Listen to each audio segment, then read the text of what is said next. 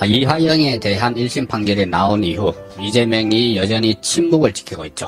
어, 본인에게 대북 송금 사실을 보고했다는 내용이 사실상 판결문에 담겨 있는 것으로 보이는데 이 부분에 대해서 침묵을 하는 이유는 일단 본인과의 연결성을 끊으려고 하는 것 이유가 하나 있고 또 하나는 300쪽에 달하는 판결문 안에 어떤 내용이 담겨 있는지 조마조마해서 어, 그 정확한 내용을 모르기 때문에 일단은 침묵을 지키고 있는 것 같습니다. 그런데 이 판결문에 이 국정원 내부 기록 같은 것이 들어가 있기 때문에 비공개로 지금 전환을 해놨죠. 한 300쪽 되는 어, 굉장히 긴 분량의 판결문입니다.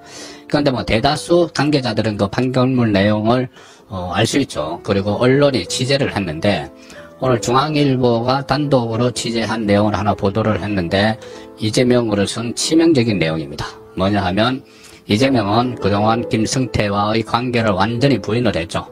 어, 쌍방울은 내이 한벌 사입은 기업밖에 없다. 그런 인형밖에 없다. 그리고 그 김승태를 조폭 출신, 뭐 고리 대금업자 이런 식으로 매도를 하면서 내가 왜 그런 사람과 말을 승려하는 식으로 올리느냐 이런 식으로 이야기를 해왔는데 김승태는 계속 그 이화영 전화기로 이재명과 몇 차례 통화를 했다고 주장을 했죠. 어, 최소 한 세 차례, 다섯 차례 통화를 해서 어, 북한에 대신 돈을 보내줬으니 고맙다고 하더라 이런 이야기를 했습니다. 그런데 이화영은 그것을 부인을 했죠. 어, 자기에게 자기 전화로 이재명과 연결시켜줬다는 걸 부인을 다 했습니다. 아, 그런데 이, 영상에서 많이 보셨을 겁니다. 선양 어, 캠핑 스키 호텔 그때 어, 북한 사람들과 같이 무슨 뭐 폭탄주를 돌리면서 형 동생 따주고 했던 그 동영상 그때 실제로 통화가 있었다. 영상 그 동, 이화영이 이 전화를 바꿔줘서 김승태와 이재명이 통화를 했다. 이것을 법원에서 인정을 했습니다. 법원에서 판결에서 인정을 했습니다. 이하영이 거짓말을 하고 있지만은 인정을 한 게 박용철 그 자리에 있었던 쌍방울 어, 부회장 진술을 받아들인 겁니다. 그리고 또 한 번 필리핀 마닐라에서 또 통화를 했는데 김승태와 이 이재명이 그때 통화에서는 특히 김승태가 저도 같이 북한에 가겠다 고 이야기를 했다. 이재명에게. 자, 왜 그러냐 하면은 어, 본인이 돈을 800만 달러, 약 100억, 100억 원이나 북한에 대신 내주는 것은 자기 사업을 위해서죠. 나중에 이재명 정권이 들었으면 대북 사업에서 엄청난 특혜를 받기 위해서인데 일단 돈을 내주는 것으로 끝나지 않고 본인도 같이 북한에 가서 눈도장을 찍겠다는 이야기입니다. 자 그런 내용까지 법원이 다 받아들였습니다. 그러면 이제 이재명에게는 어, 그동안 어, 김승태를 몰랐다고 한게또또 거짓말이 되는 것이죠. 자, 이 기사 내용은 이렇습니다. 중앙일보가 단독 입수한 이화영의 1심 판결문에 따르면 이재명과 어, 김성태가 2019년 1월 17일 그리고 2019년 7월 25일부터 27일 무렵 이화영의 휴대전화로 두 차례 통화를 했다. 확인된 것, 그러니까 법원이 받아들인 것이 두 차례입니다. 재판부는 이, 이 김성태와 이화영의 공동 피고인이죠. 방용철 쌍방울 그룹 부회장의 진술이 일관되고 본인이 직접 경험한 것이 아니라면 알기 어려울 정도로 구체적이라서 신빙성이 인정된다 이렇게 판단했습니다. 그 자리에 이하영과 이 북한 사람들 그리고 어, 여러 사람이 있어서 거기서 뭐 폭탄들을 돌리고 했는데 형 동생 따지고 막 했죠. 그 자리에 어, 있었습니다. 그 방용철 전 상방울 그룹 부회장이 있었는데 만약에 이 그 자리에 방용철이 없었더라면 전혀 진술하지 못할 내용들을 방용철이 구체적으로 묘사를 했다는 이야기가 되는 것이죠. 성양 캠핑 스키 호텔에서 있었던 어, 처음에는 이하영이 그 자리에 참석한 자체를 부인을 했습니다. 어, 부인을 했지만 이 나중에 이 동영상이 공개가 됐죠. 법정에서 공개가 되는 바람에 이하영의 어, 거짓말이 탄로난 어, 바로 그 현장에서 있었던 겁니다. 어, 판결문에 담긴 2019년 1월 17일 첫 번째 통화 당시는 쌍방울 그룹과 북한 조선아태 평화위원회가 경제협력 협약식을 체결한 날이었다. 협약식이 이어진 만찬 자리에서 김성태는 술에 취해서 상당히 구체적입니다. 이 판결문의 내용이 이 그만큼 이제 방용철을 비롯 방, 방용철을 비롯해서 다른 관련자들의 말을 다 받아들인 거죠. 종합한 거죠. 술에 취해서 김 김성태가 경기도 스마트팜 500만 달러 제 돈으로 하게 됐다 이렇게 이야기를 하니까 이하영이 이 그러면 이재명 그 지사님하고 통화를 해봐라. 그래서 전화 대신 통화를 바꿔줬다는 겁니다. 그리고 김성태가 이재명에게 앞으로 열심히 하겠습니다. 이런 취지로 이야기를 했다. 이 진술을 어, 법원이 받아들인 겁니다. 그리고 이 2019년 1월 17일 이날 음, 이하영과 김성태, 뭐 안보수, 음, 아 태평화교류협회 회장 그리고 방영철 양주를 마시고 하는 이 자리에는 이 송명철 북한 조선 아태회 부실장이 참석을 했죠. 그래서 남북 뭐 기업가 아태 부실장 이런 사람들이 서로 뭐 나이를 따지고 형 동생 하자. 어, 그 김승태가 그때 형 동생을 맺었다 이런 말을 했는데 그게 다 확인이 되는 겁니다. 그리고 그 형 동생을 맺고 막 돈을 주기로 하고 그러고 나서 김승태가 술에 취해서 내가 막 500만 달러를 북한에 줬다. 그러니까는 뭐 아마 지사님하고 통화 한번 하자. 아마 이렇게 됐겠죠. 그래서 통화를 이하영이 연결시켜줬고 김승태가 열심히 앞으로 하겠다. 는 취지로 통화를 했다는 걸 본인이 받아들인 겁니다. 자, 두 번째 통화. 2019년 7월 25일에서 27일 무렵 필리핀 마닐라에서 열린 제2의 아태평화 국제대회 기간에 어, 김성태가 경기지사 그러니까는 여기서는 계속 이재명이라고 안 쓰고 판결문에서는 이재명 이름을 안 하고 그냥 경기지사 이렇게만 합니다.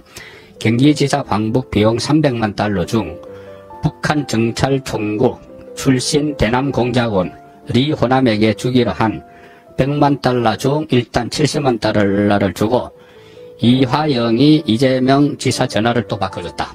70만 달러 진단을 이제 북한에 대신 해 줬으니까 전화를 바꿔줬다. 어, 그때 김성태가 이재명에게 이런 말을 했다는 겁니다. 북한 사람들 초대해서 행사를 잘 치르겠다. 그 마닐라에서 북한 사람들 초대해서 행사를 잘 치르겠다. 저 역시도 같이 방북을 추진하겠다 뭐 말했다. 자 이재명 방북할 때 북한 갈 때 같이 수행을 하겠다는 거죠. 그 나중에 이제 이재명이 대통령 되면은 대북 사업을 많이 따려고 했기 때문에 눈도장 찍으러 같이 가겠다는 이야기입니다. 어, 그래서 이런 상황을 두고 재판부는 김청태는 이 쌍방울의 대북 사업을 추진하기 위해 경기도지사와 함께 방북하는 것이 반드시 필요하다고 생각을 했고 담보를 담보를 받아야 되니까 동행 방북뿐만 아니라 쌍방울 대북 사업에 경기도지사인 이재명 등 경기도의 전폭적인 지원과 보정을 기대했다고 진술을 했다. 김성태에겐 이하영의 요청에 따라 경기지사 방북 비용을 대납할 유인이 있었다고 판단된다. 김성태가 자기 사업을 대북 사업을 하기 위해서 돈을 대신 내줄 내주는 어, 그런 것 행위를 유인할 수 있는 유도할 수 있는 그런 동인이 있었다. 본인의 사업을 위해서 이재명이 돈을 대신 내, 내줬고 그리고 이재명이 북한 갈 때 같이 가기로 했다. 이런 이제 앞뒤가 맞아 떨어진다는 어, 그 이야기입니다. 그리고 김성태가 경기도 스마트폰 비용 대납 500만 달러, 방북 비용 300만 달러 등 총 800만 달러, 지금 가치로 110억 원입니다. 이것을 북한 조선아태위 송명철 부실장 등, 등에게 건넨, 건넨 배경에 이하영의 이 말, 말이 좀 동기를 작용했다는 말입니다. 이하영이 김승택의 한 말에 따라서 돈을 800만 달러나 110억 원이나 보내줬다는 이야기죠. 그 이하영의 말이 뭐냐? 김성택이 한 말이 이재명 경기도지사가 비용을 부담한다는 사정을 보고받아서 알고 있다. 당연히 이하영의 말만 듣고 돈을 보내지는 않았겠죠.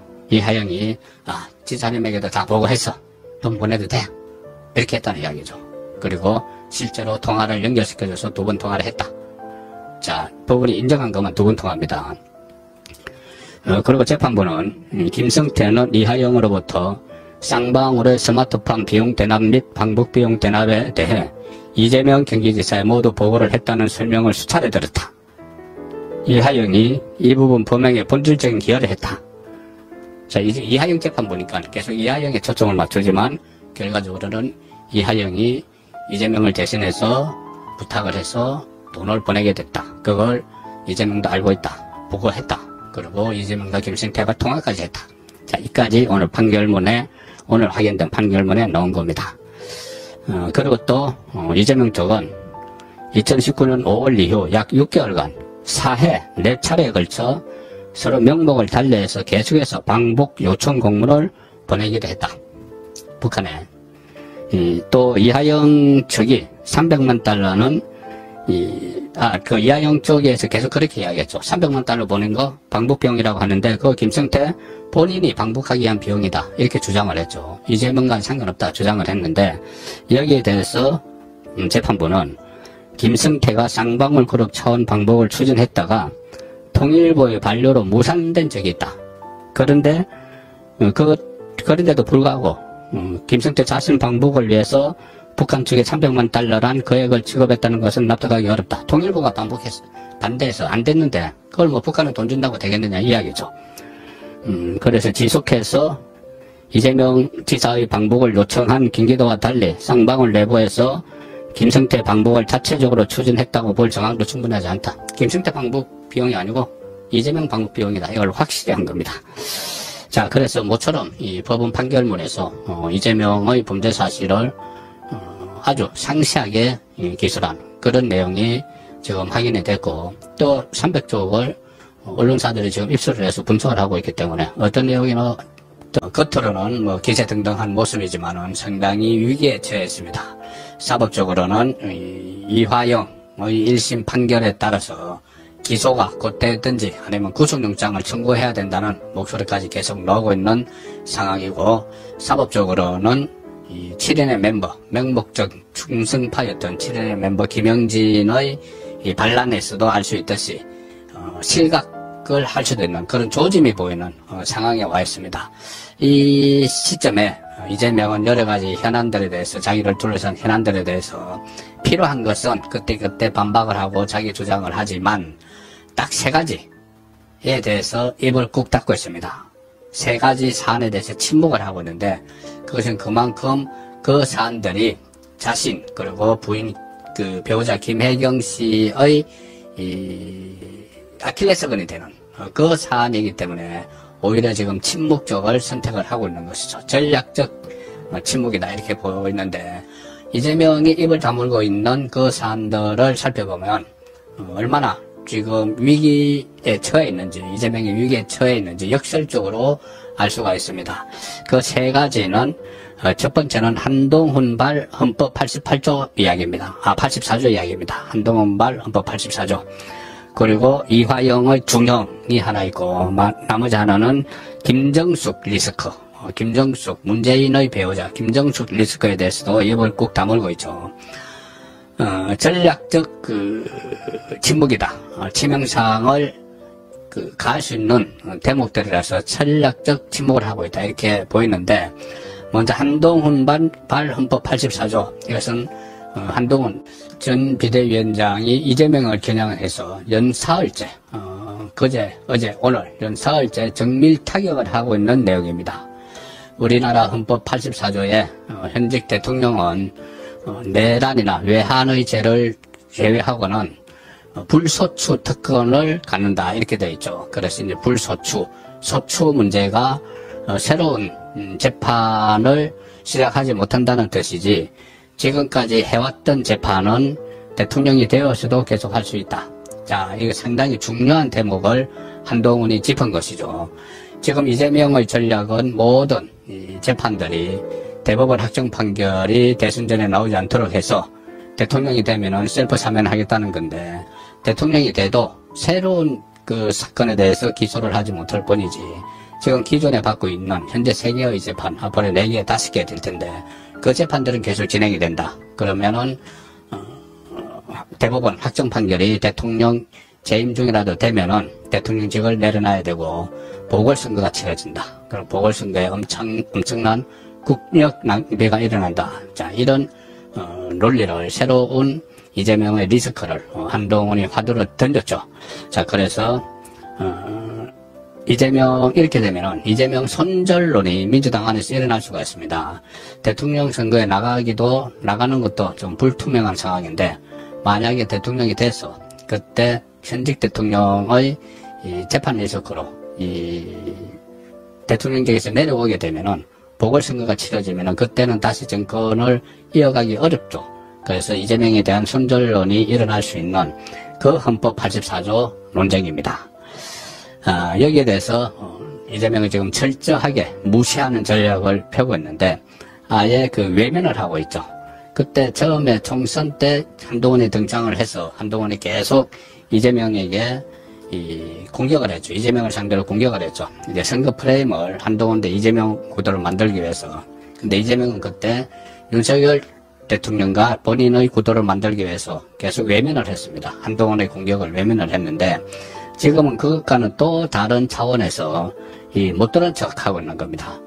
치명적인 약점이 될 수가 있으니까는 한 그 헌법 84조가 예, 이재명의 대권가도를 가로막는 치명적인 약점이 될 수가 있으니 아예 건들지 않는 겁니다. 어, 키워서 좋을 게 없겠죠.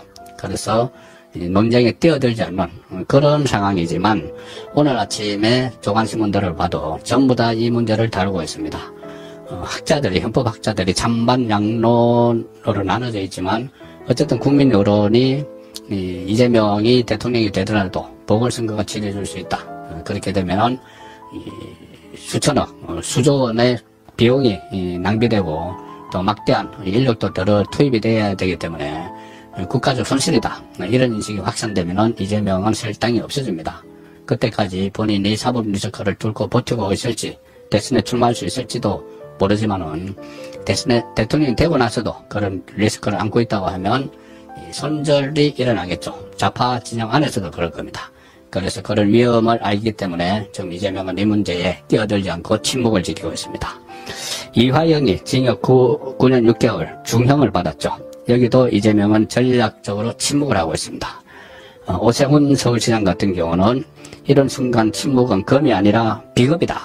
이렇게 직격탄을 또 날리기도 했는데 어, 처음에 이 이하영 선고가 내려질 때 이재명은 본인의 재판을 받고 있었죠. 그런데 대장동 재판을 받고 있는데 재판 중에 어, 뭐 일반 피고인들은 좀 할 수 없는 일인데 이 휴대전화를 보면서 한 5분 동안 이 침통한 표정을 지었다. 왜 이하영이 9년 6개월을 받은 기사 내용을 검색을 하면서 아, 한마디로 파랗게 질렸다는 이야기죠. 이 신진우 그 부장판사가 이하영 재판부 신진우 부장판사가 김성태의 대북 송금 이것이 어, 결국은 이재명의 방법을 위한 것이다. 이것을 완전히 확, 확인을 했죠. 확인해서 이재명이 이 직격탄을 맞는 그런 판결 내용이었습니다. 그리고 김성태와 이재명의 통화 그 신빙성을 신빙성이 있다고 그 판시를 했죠. 그래서 결국은 이재명도 자기를 위해서 대북 송금이 이루어졌다는 걸 인지하고 있었다. 이것까지 판결문에 나와 있습니다. 다만 이제 이화영의 재판이기 때문에 이화영이 이재명에게 방북 그 대가로 돈을 준 사실을 보고 했는지 여부는 판단하지 않았다. 이렇게 그 판결을 했죠. 판결문에 들어가 있죠. 근데 판단하지 않았어도 이미 김성태의 말에 신빙성이 있다. 또 포괄적으로 북한 정책을 이재명에게 보고를 했다. 경기도지사라는 표현을 썼습니다. 그런 것이 있기 때문에 이재명으로서는 이게 어, 본인 지금 오늘 뭐 기소를 할지 내일 기소를 할지 모르고 지금 구속영장을 쳐야 된다는 여론도 비등한데 이 부분에 대해서 음, 애써 어, 외면을 하고 있는 겁니다. 이제 그 재판부가 그 판결문에서 이, 이하영의 재판이기 때문에 보고 여부는 이재명에게 보고 여부는 판단하지 않았다. 이것을 가지고 어, 짐진 나와 상관없는 재판이야. 뭐 이런 전략이지만 에, 누구나 다 압니다. 그리고 특히 북한에 돈을 준 것이 이재명의 북한 방문을 위해서였다. 이것은 사례금이라는 표현까지 썼죠. 사례금이라는 표현을 썼기 때문에 이재명은 빠져나갈 수 없음에도 어, 워낙 어, 본인에게 치명상을 줄 문제이기 때문에 이 역시 침묵을 지키는 걸로 대응을 하고 있는 겁니다. 속으로는 복잡하겠죠. 이걸 어디까지 내 입장을 밝혀야 될지 그리고 참모들하고 막 수기도 하고 있을 겁니다. 이 부분에 대해서. 그리고 또 침묵을 지키는 세 번째 것. 김정숙 사법 리스크. 어, 아침에 제가 전해드린 대로 이것이 김정숙에 대한 타지마할 관련 수사가 어, 형사 2부, 형사 1부에다가 서울중앙지검 형사 1부에다가 형사 2부로 배당이 돼서 본격적으로 수사가 진행이 됩니다. 그리고 국민의힘 윤상현 의원 같은 경우는 김정숙 종합특검도 발의를 한 상태죠. 자, 그래서 친문들이 일제히 나서서 보호막을 치고 있습니다. 김정숙에 대해서. 뭐, 그때, 이, 문재인 수사와 관련해서 친문 27명이 기자회견까지 열었죠. 그때도 이재명을 비롯해서 아무도 거기에 대해서 가세를 해주지 않았습니다. 친문이 하는데 친명에서 가세를 하지 않았죠. 그리고 최근에 도종환, 또 김정숙 방어를 하느라고 뭐 윤건영, 고민정 이렇게 친문들과 같이 모여서 기자회견까지 하면서 타지마할 그 방어하느라고 애썼는데 애를 막 썼는데 거기에 대해서도 이 이재명은 그냥 간 거는 불구경하듯 아무런 반응을 내놓지 않고 이 민주당 친명 의원들도 여기에 대해서 일절 언급을 안 합니다. 같은 좌파 진영인데 그래서 이 좌파 진영 안에서는 너무 하는 것 아니냐 이런 이야기까지 나오지만 이재명은 이 문제를 건들지 않습니다. 건들면 벌집이죠. 왜? 이게 이 김혜경 사법 리서카도 연결이 돼버립니다. 김건희 리스크 이렇게 하는 게 이제 김정숙 리스크 나왔고 김혜경 리스크도 계속 이야기가 나오고 있죠. 법인카드부터 시작해서 최근에는 관용차 사적 유용 뭐 이런 문제까지 불거져 있기 때문에 이 김정숙 리스크가 이 화두가 되고 이슈가 되면은 김혜경도 같이 이슈가 될 수가 있기 때문에 의도적으로 지금 차단하기 위해서 김정숙 부분에 대해서 아예 언급을 피해버리는 자 그런 상황이 되고 있습니다. 결국 이제 이재명이 침묵을 하고 있는 이 세 개의 사안 한동훈발 헌법 84조 음, 법원발 이화영 중형 선고 그리고 이 김정숙에 대한 특검 또는 그 수사 본격화 이 문제는 이 문제 이 세 가지 문제에 대해서 이재명이 침묵을 하고 있는데 다른 데 대해서는 이런저런 막 그 방어 논리를 펴면서 여기 침묵하는 이유는 결국은 본인의 아킬레스건이 그 세 가지이기 때문이다. 본인과 배우자 김혜경을 포함해서 자 그래서 전략적 선택을 하면서 입을 닫고 있다. 자 지금까지는 이게 전략적 선택으로 입을 닫고 있지만은 과연 이게 계속 그렇게 할 수가 있을까? 이제 어, 헌법 84조 문제도 본격적으로 논쟁이 시작이 되고